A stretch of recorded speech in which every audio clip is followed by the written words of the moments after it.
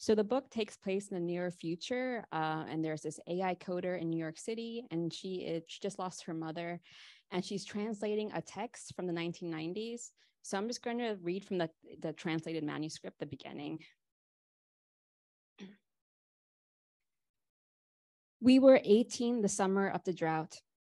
The cow's milk tasted of water, and the harvest had shriveled to half formed things. Onions the size of chicken eggs were pulled from the ground, and lentils the color of the sky, the same bright blue as the dye from the garment factory. At St. Mary's Hostel, we survived off boiled peanuts and rice porridge. The single meal was meant to last us the whole day. The hunger was a lesson in the human body. And on our first day of anatomy class, we all looked drained and hollowed out, like the skeleton hanging in the front of the room. 17 girl specimens. Alone for the first time in our lives, we walked from the hostel to the canteen, our backs hunched and arms tight across our chests.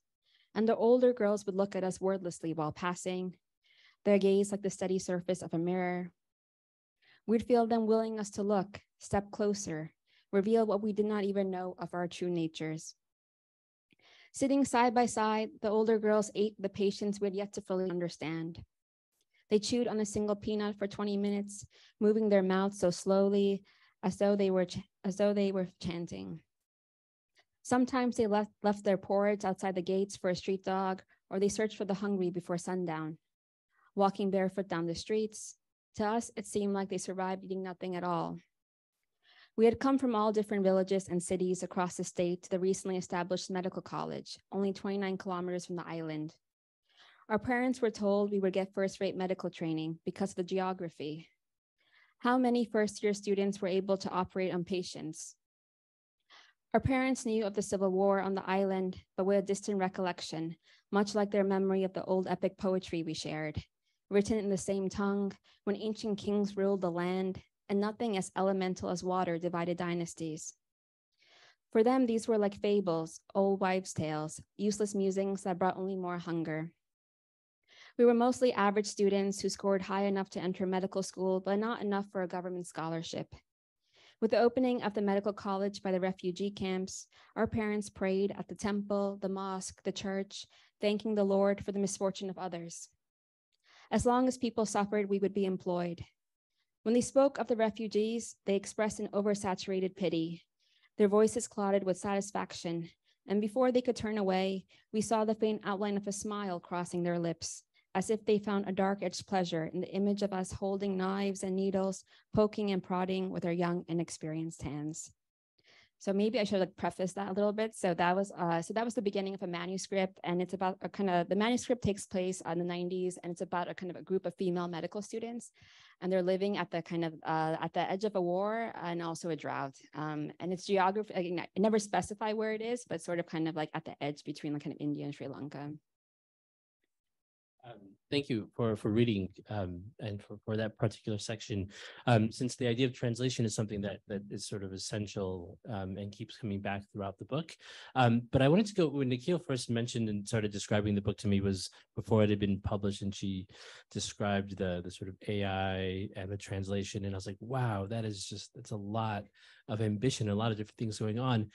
And then I read the book and I was just like, wow, that's that's amazing. And then I read the book again now and preparing for this and seeing where we are now with language and AI, part of me was just like, oh my God, this book is, is, is so remarkably prophetic. There's um, early in the same or, or, earlier than that section, you have um, did you really need to learn to communicate with people in another language when you were training an algorithm to comprehend all permutations of sound?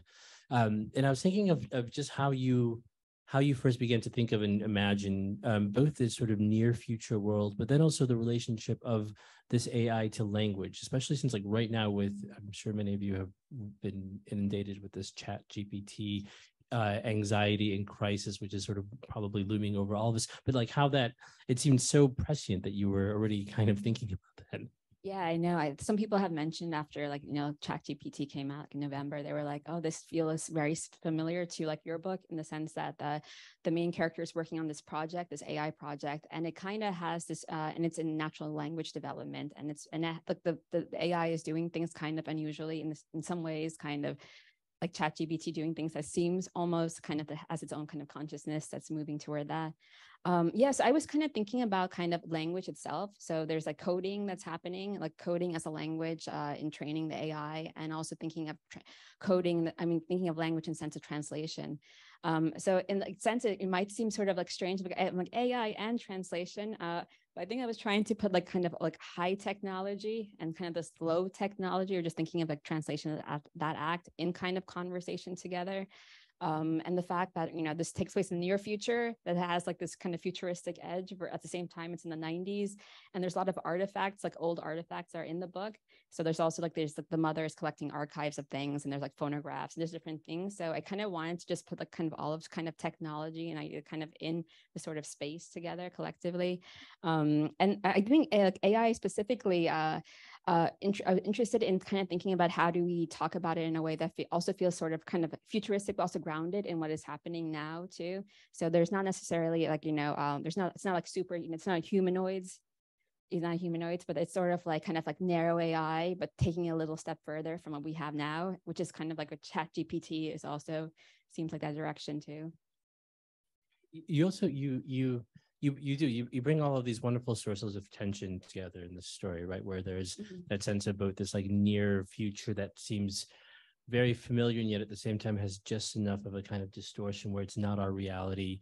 Um, but then all of these artifacts from our, our very near past which are or are present in some cases that we can also easily sort of grasp onto. And these two aren't just side by side. They're almost kind of actively mm-hmm competing for each other's for both our attention but also i think to in, without making it too kind almost for like our humanity mm-hmm. right? In that sense of what how that plays out with language. There's another note where you have um, we are not individuals but behavior patterns. What if using a, cer- a certain temperature of water makes your skin cells shrivel up and age more quickly? Um, and that made me think well what's the what is the difference right between the individual and the behavior pattern? And how does this story try to kind of find the individuals um, even as they're trying even as almost being kind of erased by the, this sort of technology yeah yeah, it's a good point because you know, uh, I know you brought that quote about you know we are all just kind of behavior patterns. So I was kind of very interested in thinking about like, all this data that we're constantly shedding, and that's like the, the data is the material that like AI is trained on. So thinking about how like, you know, we are all these kind of like little, like we're kind of always constantly shedding data and even just interacting with the world in the social media, we're just like, you know, giving up all this data. So how is it being kind of fed through kind of this AI machinery and how kind of like we are also, um, uh, you know, AI is seen, it seems like, you know, it seems like they're kind of like this unbiased kind of these outer things these kind of uh, entities but it's kind of it's, it's like us it's like yeah. kind of a collective consciousness is being fed through this and it just kind of amplifies our like our own beliefs our own kind of even our own biases and everything. Um so kind of seeing that through like this data in that sense um and also thinking about like the the yeah and then you know in the manuscript itself they are also the these women are kind of uh they're going to medical school and they're kind of thinking of this new way of kind of like how can we kind of really help people around us? And they come up with this idea kind of this idea of kind of radical compassion so yeah thinking about how do we how do you become like humane in the kind of the digital world what does radical compassion even look like um, in the kind of AI centric world, uh, in the in the in, in in this futuristic world, there's also this kind of carbon score monitoring where there's con- they're constantly kind of recording your data.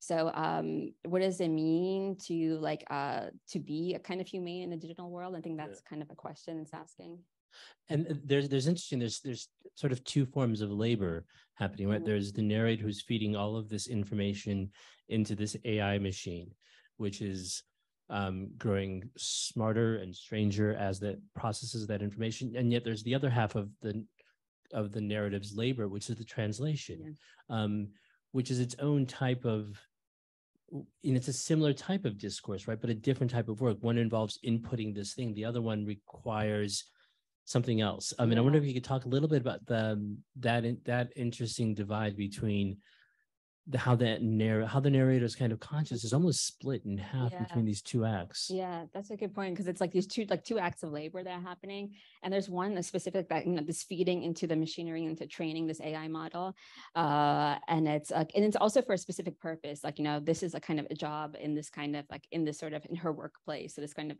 into this capitalistic machinery that has like a true purpose, versus this like translation which also doesn't necessarily have a, a clear purpose in the sense that you know uh, maybe someone will publish it like for like nothing uh, for no like really compensation. But uh in the sense like there's like this kind of deep act of intimacy i guess in both things.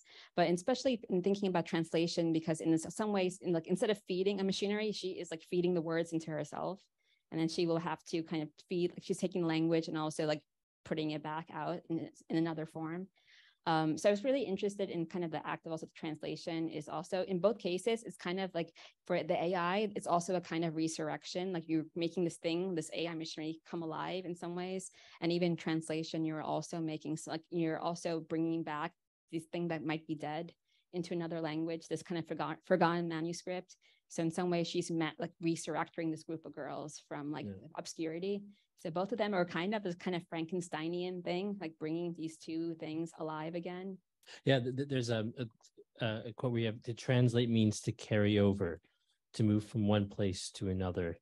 In your solitude, you find yourself picking up each foreign word like a stone you might use to make a path back home. Um, there's a, a sort of wonderful sort of evocations of of just what that act and labor actually looks like. And one of the things I found really interesting is that within the act of translation, there's always some question of the kind of fallibility of the Mm, translator, right? yeah. There's this like human imprimatur which can't ever be erased. And I'm wondering if you see that different from what we imagine to be the the sort of technological relationship to language, right? Which is where you're actually kind of totally effacing the human. You're you're e- effacing the human in order to arrive at something that might be sort of simpler, more pure, or or if, as you say, that's actually not possible, right? That we only imagine, but in fact, the the the artificial is still just as flawed Mm. as the translator's work. Yeah, no, I think that's a really good point. Just because in both ways they are, are they're both flawed because like even when you think of AI, like the data you're feed, feeding the machinery, it's a specific data set, so that's going to be flawed. You know, they have a lot of examples of like um, uh, like facial recognition, not you know only recognizing certain colors, certain colors, certain people's Yeah. faces, um, and certain racial faces. So I think thinking about uh yeah, so the, what what you feed into the machinery is going to like dictate sort of like how it's going to see the world. So that and that's why it's going to be flawed in that sense. And even for the manuscript, it's going to you know uh, it's only there's like uh in the act of translation you're going to be missing something. Something will be lost in this act, uh, which doesn't mean uh, which is not like this awful thing, but it also means this is not not not necessarily there's like a shadow book that's not there's like a shadow Yeah. of like of what the book was, uh, and we are only getting a sense of something. Yeah. And um, so I think in both those both those spaces, kind of navigating these are both like imperfect things. And then what does that mean? Uh, and also, I think I was trying to maybe even think about like how do you show the process of making something, like the process, like you know, uh, of writing something. Uh, uh, I think when you get the final product of a work, it's just you know we don't get to, you don't you don't really get to see the inside process. So in this way, uh, in seeing the translator as she is translating, you get a little bit of like like uh, her thought process and like as she's writing it. Yeah, there's it's something I think we talked we talked about before Yeah. is that you actually see traces of the work inside of it, right? Rather than imagining that you end up with a book as the sort of finished perfect commodity, that instead you actually end up with a narrative where you see the labor of the of the translator and of the author to some degree, kind of Yeah. transforming that text, and that's an interesting kind of presence there. Yeah. Um, so I was wondering if you could, if you could talk about about this because you you, you the story is narrated in a very interesting way where you use two sort of very distinct narrative perspectives, so kind of a second person and then that first person plural, and and why those choices, right? Because there is I keep wanting to imagine that there is one narrator who's telling all of this, but we don't actually see that narrator in that kind of Yeah. you know in that first person way.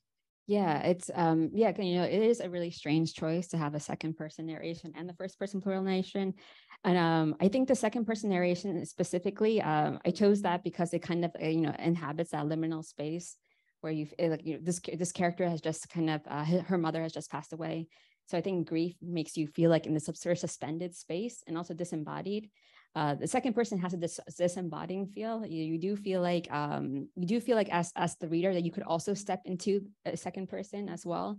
So it gives more space. Um, and also, I think I was trying to think of how to get the reader more entangled uh, into the book uh, in thinking about even this idea of radical compassion. How do you kind of make things feel more porous? So like both the we and the second person feels like, you know, you could also be part of this thing. Um, uh, yeah, so in, in that way, I was thinking about those two, those two, those you know, those two point of views, and also thinking about the the collective and this kind of collective consciousness and how to kind of evoke that. Um, what was that earlier question? Sure. Yeah. but, but but within that collective, yeah. because the, the, the text that the narrator is translating yeah. um, isn't only an act of translation, but it's also a text that's being trans that was that has a collective voice. Yeah, so rather than the idea of the kind of single authorial voice, like I'm translating Dickens, um, instead it's the translation of the chorus in a certain way. Um, if you could talk about that like is the, i was really struck by that by that by that sort of choral performance that happens with the we but yet within that we you still have these individual girls whose distinct characteristics and traits and desires all come through. Yeah yeah. Um, yes, I wanted to kind of think of like how to uh, um, how to evoke something that feels like kind of larger than like this individual. And I also I think on an individual sense, I, I think I tried writing things in the first person, and it just like somehow I I think like with the book and with some of the ideas just didn't kind of uh, the like uh, uh, didn't resonate because a lot of the the inner manuscript is about the kind of like uh, surpassing your ego, going beyond your consciousness in some ways. So I think um, the we helped kind of think of something that's like larger than yourself, which also kind of feels like the, the kind of a huge data stream, like this huge thing, this massive thing that like there's an individual, but like you like you maybe you're a pixel dot in that and you can't fully see that. So in that way, uh, the manuscript kind of want, I want to have the feel kind of mythic with that we. Uh, at the same time, uh, few individuals do do I do name some certain people. Um, so I was thinking about how do we have, you know, especially with different movements or different kinds of movements, like so they start creating this kind of idea about radical compassion and how these sort of visions sort of fall apart.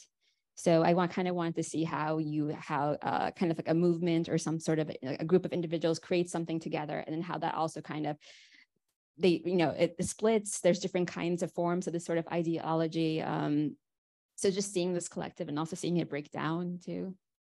Yeah. Can, can you talk a little bit about that idea of radical compassion that the sort of girls espouse and where like what informed the making of mm. that yeah i guess you know i was just thinking like um on some level about like what is the kind of uh the kind of border between caring for other people? Where is that sort of like where does it kind of cross into some sort of delirium even? Like uh and how do you how do you actually become like porous to someone else's pain?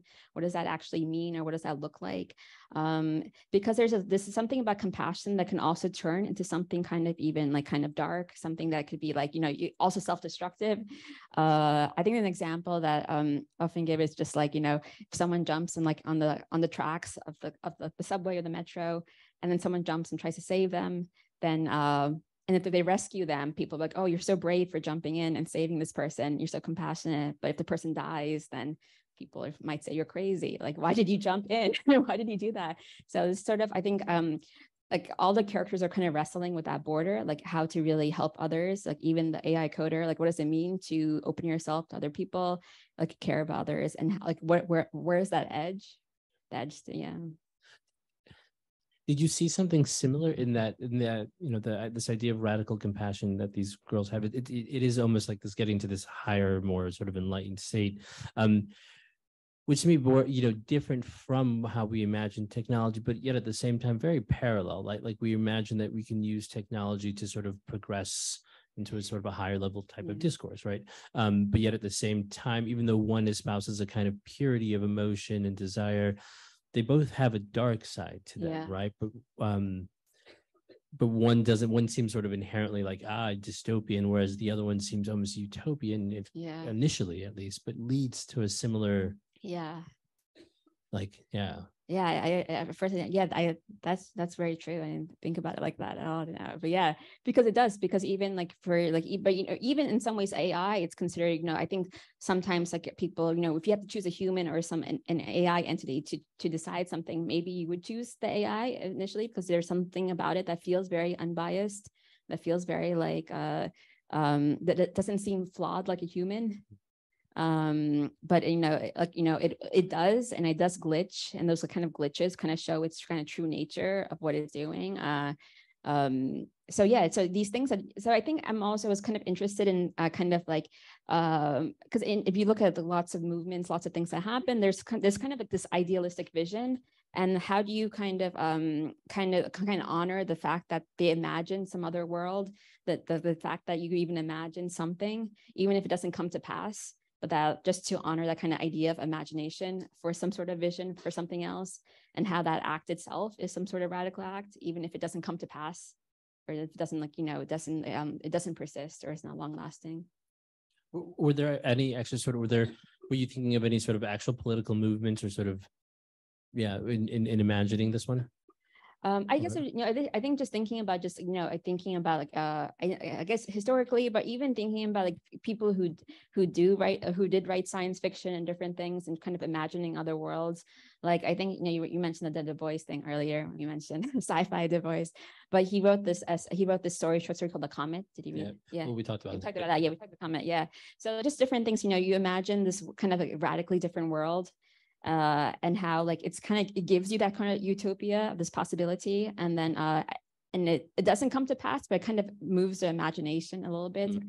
into imagining that. And that's i think that's the case for like any, any lot of movements. It's just it's kind of like a continual thing but takes just like the act of imagining. Um i think i also have like like a, like random quotes in the book itself. So like even like grace lee boggs and different people. So i think in itself it's sort of trying to grapple with those those sort of individuals too. Yeah the um, uh, one of the things we, we've talked about before is the the kind of interesting sort of lines and sort of literary categories that this sort of yeah. book can kind of occupy, right? Where it's um you talk about it's not science fiction, certainly not dystopian.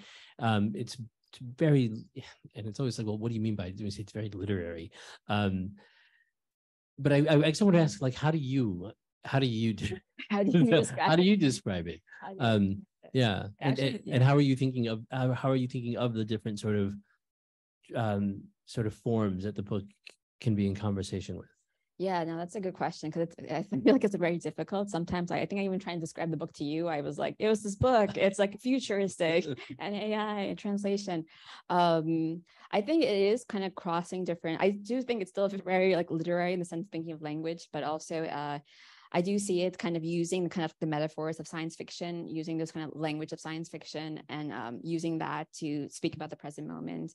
So I do think of the kind of conversation with other books, like even thinking of like Butler, and just, but also like even um, even thinking of like different historical texts. Uh, and I think just seeing people who have constantly been blending genres throughout uh, in their in their work um and it, it doesn't feel like it doesn't feel like anything particularly um, I don't know uh like new per se because you know when you go into like you know like archives you just see a lot of people doing things. I just feel very you're like oh this is not uh strange. But i think people want to fit it somewhere. So i think some people have called it a dystopia uh, this dystopian novel, and it, it, you know it is talking about this near future. Uh, at the same time, it's like it's just a kind of like it's still like our much like our present, but feels a little bit advanced. Yeah. Uh, so yeah, I think it's like I think there are tendencies to try to fit it to something or yeah, some space. Yeah.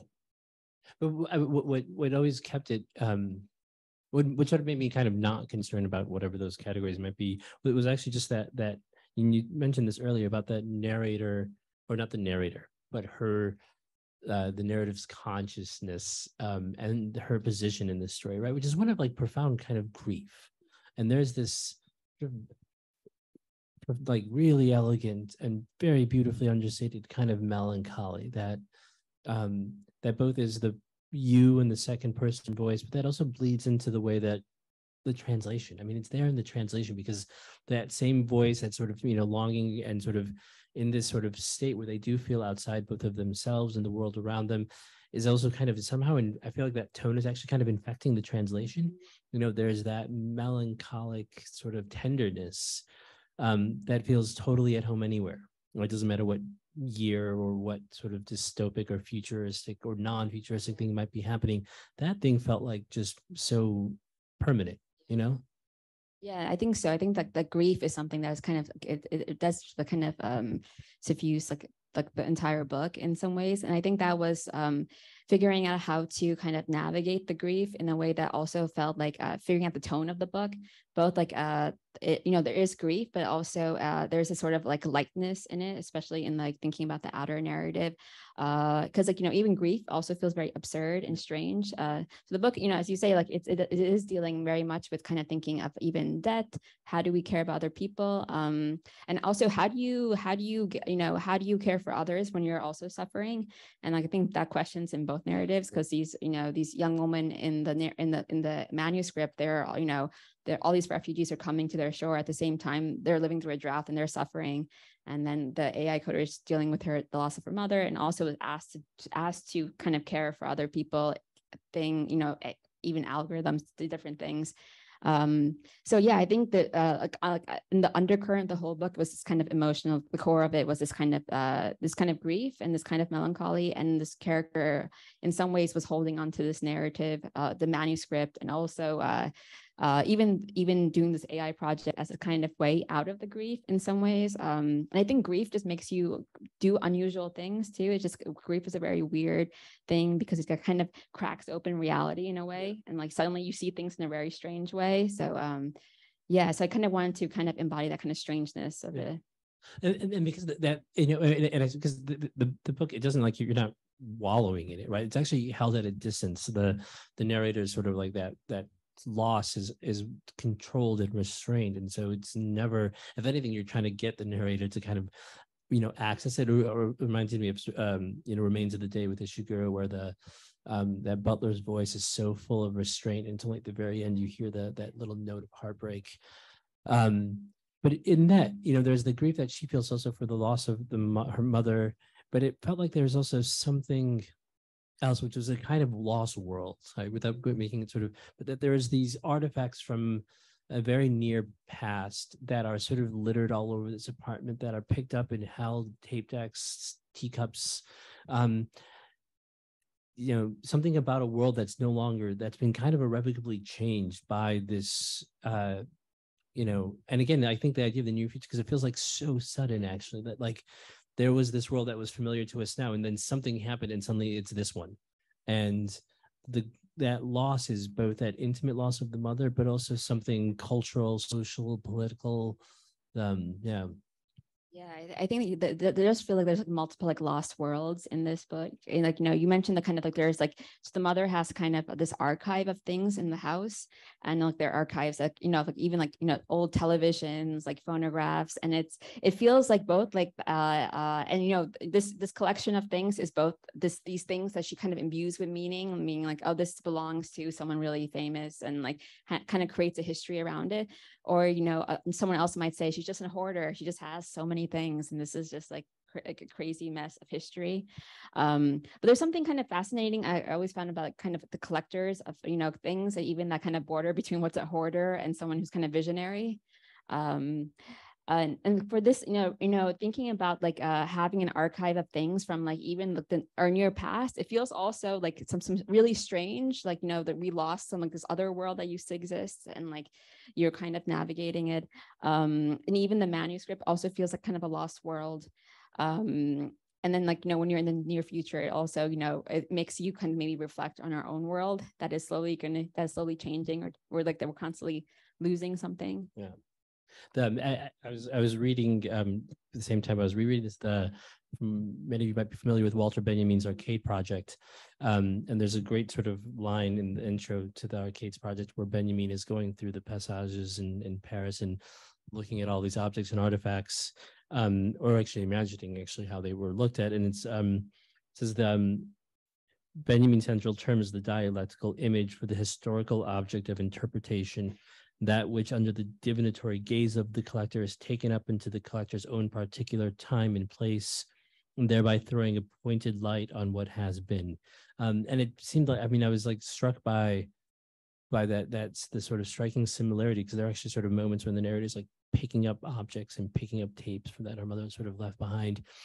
And there's that sense of dissonance right? Because here's something that actually has no functional value in this world anymore.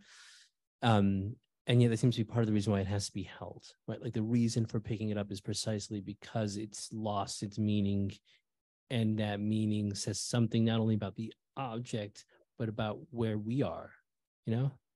Okay yeah you know, yeah because like there's no really any purpose to hold on to these items and then uh, even in some ways like the ephemera of someone of someone's life you know like like the, what they have had it's like it really has no meaning maybe except to you for for some for some way you know maybe sentimental or for something but yeah it's like all these pieces even like old technology in some ways no no purpose per se in the ways in a practical way uh, but it it is you you are you are you are creating sort of sort of archive some sort of world and it's yeah. a and I mean, that word archive comes up repeatedly, right? Because it's one of the things that sort of deeply at stake in the story is like, actually, how do we hold on to things? Like, how do we hold on to to our both intimate personal memories um and there and how does that relate because you know then there's that um the sort of technology of memory that's actually kind of at play in the story where it's like uh, can there be a drug that actually contains or holds our memories for us yeah, so I think like approaching memory and like kind of a different kind of angle. So we have ephemera of someone's life, the, those things, and then there's actually this drug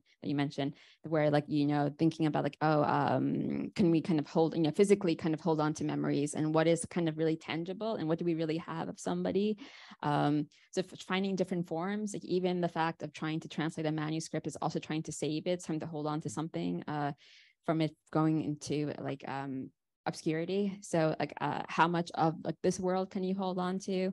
And this sense of the archive is also the sense of the kind of like salvation like you're trying to like salvage like anything everything you can. Uh, and also this question of like what gets saved too? Because the archives specifically um uh it's you know it's what's deemed important. And so like uh what what you know uh who is deemed important in like different periods there's a lot that's not been saved right? So there's a lot of absences in archives and lots of blank spots in archives. Um so kind of thinking about the absences in archives and also thinking about how, you know, uh, the, you know, these characters are also making archives that like maybe no one would be interested in per se. And what does that mean? Uh, like what, what kind of like, what, what, what does it say about the worth of an archive and the worth, you know, um, and how we and how we save things and is anything can, can can you save anything in some ways when thinking about data it feels like yes there's like there's a lot of parts of us that are saved somewhere like a lot of like things and uh, maybe that we wouldn't want saved yeah. But but it's also striking I'm, I'm just suddenly realizing that part of what what's also saved you know in the sort of there's the objects that we try to maybe want to hold on to and then there's all the things that's kind of data can you know breaks us down into these composite parts of gestures and behaviors and all of that stored somewhere.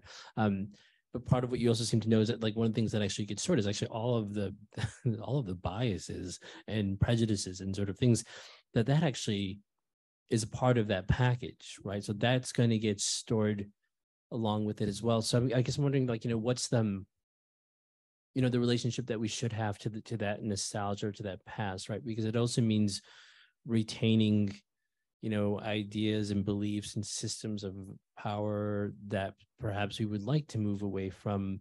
But if we're going to, you know, hold on to some, like, how do we separate, you know, how do we curate the past i guess in a way? Yeah. Yeah. That, that i think that's like a big question right? Because it's like how do we uh specific data it just feels like this sort of like a fingerprint of like who we are now like how do we how do we uh you know I, I think that also goes to in thinking about how do we train models how do we train ai models like what's the data set what, what are we using uh so i think that's like a question like how do you curate data for those biases and for those things. Uh, but as I mentioned for the archive too, it's like it's full of all our biases because you know what we what we have not saved is also tells us about like you know mm. our consciousness at that point.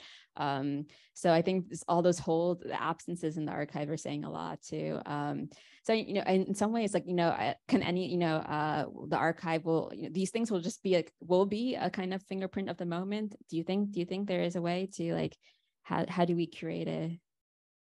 asking you, didn't I had no idea.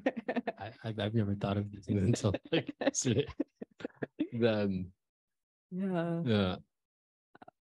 Yeah, because I was talking, I was in I was in Pittsburgh and I was talking to um uh this woman, the director of like the Smithsonian for technology, and she and she was like she collect archives. And they're constantly you're constantly kind of just making that you're kind of deciding what you think is what should be saved. You're just so just in some ways it's like a handful of people kind of deciding in some way certain archives and thinking about like what what which what do we need for the future.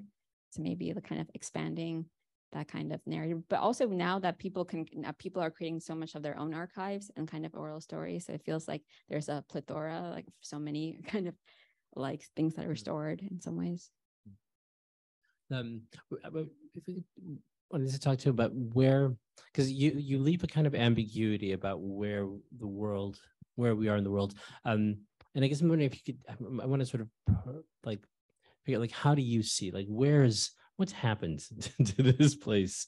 The, um, there's this sort of technology. There's um, there's obviously the sort of lingering after effects of conflict. There's these um, environmental degradations where people have to go around um, and sort of pay this kind of constant carbon tax on on their behavior um, and then we have the specter of this sort of you know these soldiers right who actually come from the world of like reality tv and enter into the reality of the story um how uh, yeah how the how the kind of politics of this world are are sort of kind of both off stage and yet at the same time terribly present so I think you know, going back, you mentioned that. So for one thing, there is like a reality TV show about soldiers, and uh, uh, and that in that way, kind of just and it's kind of just thinking about kind of this escalation of a kind of militarization, but also thinking about how do we like consume kind of consume images and how do we witness things and what does that do? Like you know i think i was thinking of that idea of compassion from different lens. Like what does it mean just to witness? Like if you're watching a reality tv show that's taking place in like a war zone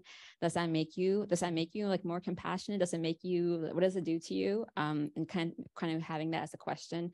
Um and what does it do for the people inside the television too or inside tv like those soldiers themselves um, and also thinking about like so there's a, also carbon score monitoring that's happening kind of thinking about uh, how do we on an individual basis track things but also this is a government system so it also seems like a kind of surveillance thing uh, structure. So then what does it what you know is it does it does it how much does it really matter uh, like this is really the system really helping actually this monitoring uh, is it just it just a sort of facade for actually just getting all our data? Um, so just kind of thinking about how we try to maybe do kind of even band-aid efforts that are maybe have ulterior motives. Um, and also just thinking about uh, how AI can be a kind of saturate our world. I used to, I worked in this place um, uh, and there's the one time it's actually actually a scene in the book. There's a futurist that comes into the office that actually happened. Someone from the came in, futurist, and he come he came to the office and told us about the future and had like images of the future and told us what's going to happen. Um and um yeah so this this future also felt like it was a very specific future for a specific a specific part of the world. Um and also um this question of just like uh, and he also said we will all be coding in the future to some extent.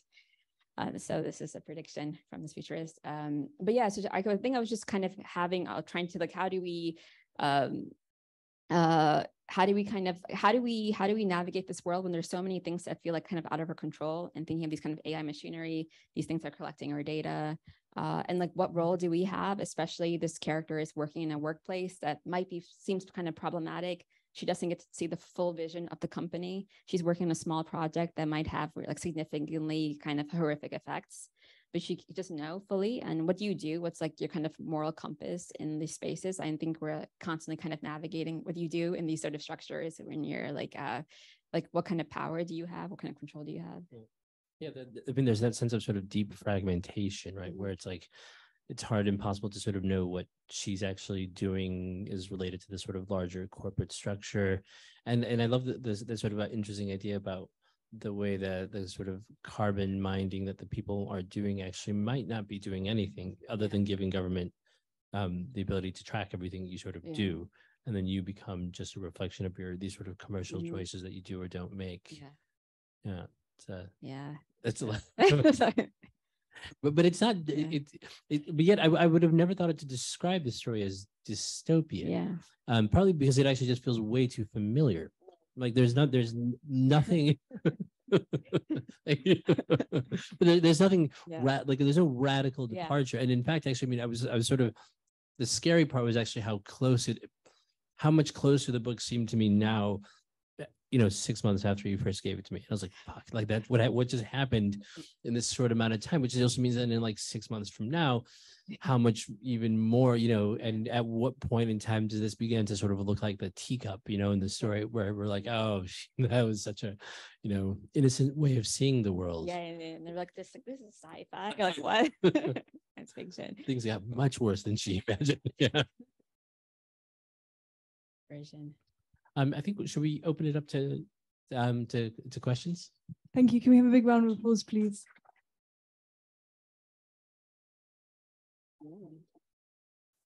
There are questions in the room?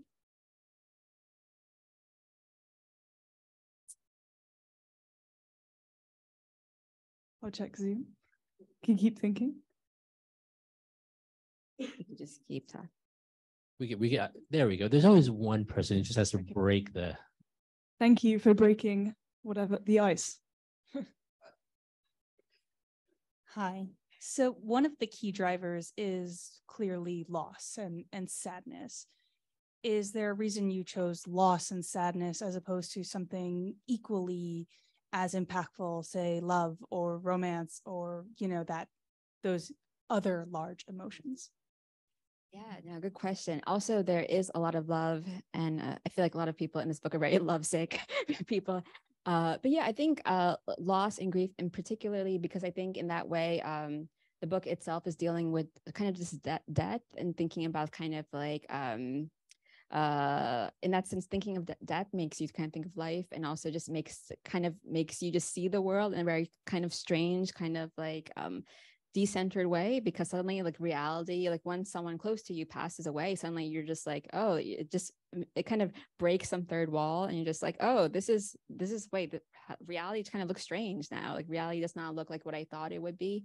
Um so i think using i've used that sort of kind of this kind of entry point uh and also i think uh death can also just be very funny. I think there's a lot of humor in the book too and i think um so even like the there's you know i think the the humor of it i think maybe lets like kind of the sadness kind of punch more deeply um uh but yeah there's a lot of there's a lot of also yeah there's also love there's like people like like falling falling in love also like this loss of love lovesick yeah i think lovesick is probably a very good word in some ways thanks the question More in-person questions? Yes. Um, I was wondering, you mentioned a couple authors like Octavia Butler and Du Bois um, that you felt like somewhat in conversation with or that somehow sparked something here. I was just wondering if there are any contemporary authors that you feel like particularly like you're trying to achieve the same thing, maybe in, in totally different ways, or like you kind of feel like, or maybe that informed this book or just your writing in general.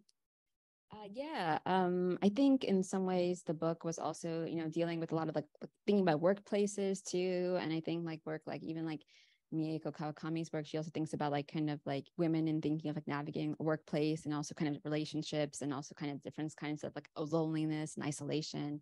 Um, but also, I you know, um, I think specifically uh, this the the inner manuscript. Um, I had read a story by Steven Millhauser. It's called Dangerous Laughter, and it's about this collective that tries to create a laughing club. It kind of just like the other, like they really try to just push the extent of laughter, and it gets kind of dangerous, like the title says. Um, and it and it goes into really unusual places, but he kind of takes this idea of laughter and kind of pushes it to like this like uh pushes like the human condition to this like really to a brink um, so in some ways, that story itself kind of stuck to me, stuck with me too, in thinking about the inner manuscript and think, thinking about compassion, like how do you take compassion and kind of push it to some sort of extreme, and kind of also kind of have a sort of collective in thinking about it, navigating it. Yeah, thanks. We had a, a question on Zoom that also asked about the inner manuscript. So Livia says, um, have not yet read the book, so maybe this question is answered as we read it, but the manuscript that is translated, was it originally an actual manuscript? No, no, no, it's, it's not an actual manuscript, uh, but people have asked me that. So that would have been interesting if I took it to the manuscript and then just like translated myself and then just tried to record it. But yeah, this is like a yeah, a self-created manuscript, but it does uh, refer to it makes kind of references to kind of old ancient texts too in the book itself. So it is um kind of it, it in itself it is referring to like a far ancient past too. So yeah, so but it so yeah, but it's completely made up. But yeah.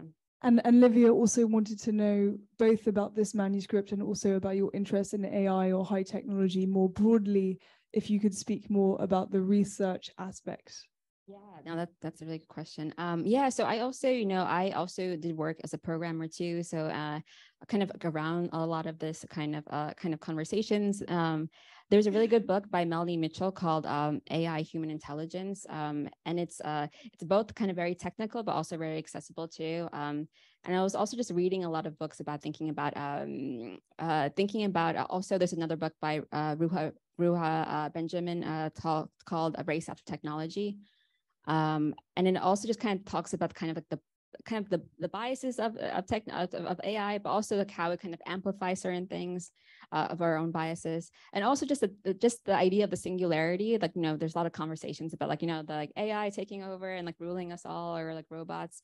So um, you know, most of these books I were reading uh, uh, they were often talking about it's not necessarily the singularity to be afraid of, just more about how like people in power will use tech AI and how it's being kind of used in that way. Uh, so I was kind of interested um, in um, kind of taking this this kind of conversation about AI and maybe even mashing it with something that that's that almost seems unconnected because the the book the inner manuscript takes place in like another country in another time period but it's in conversation with the, this future place in New York City. So it's taking like two two different temporal places, two different geographic locations, and kind of like mashing it together.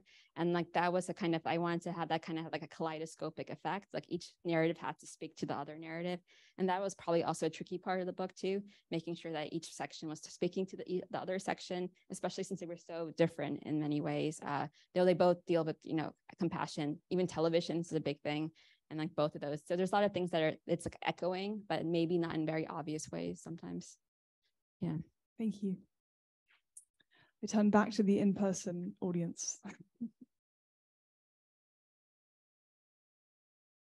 but just reminded me quickly that what you were saying with um that the the sort of difference between the seeming AI world and the future world versus the sort of radical compassion that these uh, women are practicing at a different time in a different country, but also because I mean, even like right now, right, the relationship between like AI and what is it, ethical utilitarianism, right? Like that idea of AI having a sort of social discourse around it and coming up with this one, which is almost rad- in radical opposition to the one you imagine, right? Like there's the the radical compassion that your characters evoke actually revolves putting themselves physically and emotionally and psychologically into others, whereas the one that we see AI or proponents of AI oftentimes espousing is one where you actually divorce yourself entirely from your ethical decisions, and it's actually about like what's the mo. So yeah, I was wondering if that was in your. Yeah, I think I was trying to think about also like the, the kind of the ethics around this. What is what does it mean? Like, um, um, yeah, because you know, uh, having an AI uh, being kind of educating, deciding, deciding things, it feels like in some ways sometimes kind of unbiased entity so uh, kind of thinking about what is the, you know, we're giving away this sort of moral compass to something else. Uh, so kind of thinking about um, what, where does that moral compass or where, what is the ethics of sort of kind of like that line of compa- you know, thinking about like um, how we make decisions and how we are kind of navigating the world. So yes, so in, in the inner manuscript, this idea of radical compassion means that they are kind of trying to like physically, in a very physically psychological way, to open themselves up to other people in a way that kind of, in some ways, kind of uh, uh, going beyond the ego, going beyond themselves, and going beyond thinking about their own personal lives of uh, personal lives uh, and trying to think what is good for more people. Um, I think that kind of utilitarian view is also think goes to AI because there's an there's a car accident with the two self-driving cars, and um, there's a sort of trolley car self-driving car problem about like um, whose life is worth more and how do you make that kind of calculation when it comes to like human lives and how's the AI making decisions uh, in deciding whose life is worth saving. Um, so yeah, that's that kind of utilitarian thing is also happening in the radical compassion, but thinking like, you know, is the, you know, you're trying to save others, but at what cost too? Akil, maybe you could also talk about the research that you did for the environmental aspect of the books and specifically about the carbon, the discussion of carbon, because that also feels at once grounded in contemporary discussions that you know governments and policymakers are having about carbon, but also possibly some hopeful steps forward into the future. Yeah, so I was kind of kind of interested in the kind of conversation we were having about like kind of thinking about what the individual can do versus kind of these government entities, and like um you know you know we you know in the U.S. we are you know recycling you know our own recycling. We recycle something. We have no idea if this is doing anything, and um uh, this question of like what do we do on a personal level and kind of what um uh, what actions can you take? Uh and does that even does that does that have an effect um, so I kind of want to have those kind of conversations on like what what can the individual do versus kind of thinking of like government mandates and how kind of how what what does a government mandate do? And um um um and and will that will that sort of kind of will that sort of change the the kernel the, the kind of like where the, the world is heading? Uh it seems like in like in the book it seems like there you know there are many people have different perspectives about this. So kind of kind of having those different conversations about like uh um how do we go about like even the choice of even having children when the planet it seems like it's going down going you know into this kind of apocalyptic space uh, uh, how do you like you know, how do you think about the carbon footprint of a child having a child and just kind of having those decisions uh, those kind of questions come up and thinking about um yeah and thinking about the possible of a future is there a future world? And like what does it mean uh like kind of the future of humanity and thank you. Yes Hi, I'm not read your book, but um, one of the things that I've been concerned about listening to your discourse is this almost mysterious thing that you've given to AI. I mean, it's, it's like there, there seems to be something that I'm missing. Um, you know, sort of like it's, it's like a general thing. Whereas, I mean, from what I know of AI, it's a very specific thing in every different field. Mm-hmm. And so these aren't, yes, there are these advertisers, etc., and Google, etc., who use that to target particular mm-hmm. markets for whatever their purposes are.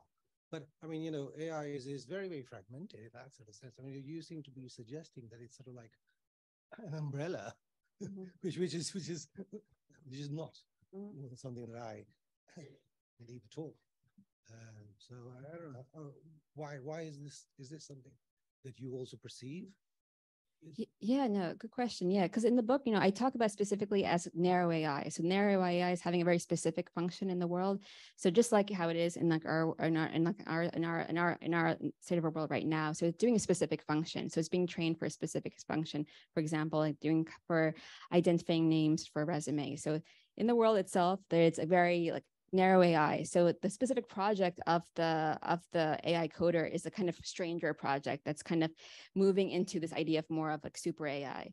So, but the world itself is very much so of like a narrow AI world that's like our own that kind of has a very specific targeted function that's doing one task. So it's not necessary. So it's so it's having what would happen if you have kind of these narrow AIs in a kind of larger and something larger kind of controlling multiple narrow AIs, which we don't have in that sense, and having it more on a kind of structural, maybe even a more governmental level that happening. So kind of just taking well, extrapolating narrow AIs and just pulling it a little what we have now and just making it a little bit stranger, imagining what what, what could happen in some some sort of uh, in some sort of maybe some sort of possible world you know maybe in six months from now this is going to look really like this is going to look really kind of old and like you know something you know after chat gpt something larger has happened and this is kind of yeah irrelevant. We had a really specific question um, on zoom from sherilyn who says uh, enthusiastically. The novel is so brimming with ideas and creativity! Exclamation point. We just heard Akil mention um, Octavia Butler's inspiration. I'm thinking also of Ishiguro's Clara and the Sun, with Clara being the AI creature who nevertheless became so human to readers, indeed felt compassionate and impacted the grief of other human characters. Uh, I'm sure many people ask Akil about this book, but do you have thoughts on it? Claire and like, yeah, I think you know, you know, we were talking now about narrow narrow AIs, and then I think having this kind of humanoid, it's kind of like this like neck that feels like a, a much further leap. So this is like, that feels like a, a kind of farish future, having this kind of humanoid that has uh um that is both kind of that has human feelings and kind of navigating navigating the world um i also really enjoyed it um and I think that book is also kind of dealing with uh, what you know what is that kind of border between human and machinery, and what does that mean to even um, also dealing with memory and loss, uh, thinking about what does it mean to preserve someone. In that in that book, there's this char- you know character that um, this kind of uh, um, family's afraid of losing her. How do you preserve someone's memory? And can like a can a humanoid, can some sort of structure uh, preserve that. There's also this book, a sci-fi book called After Yang, uh, short story that also deals with kind of humanoids and also can kind of preserving memory, uh, having this kind of humanoid just preserve someone's memory. Um, so I think a lot of these books are also just dealing in some ways with death and like how do we preserve something or like loss? How do we uh, preserve someone that we care about? Um, what does it mean uh, to like kind of let go of let go of all these things too? Thank you. We have time for one more question if there is one. Yes.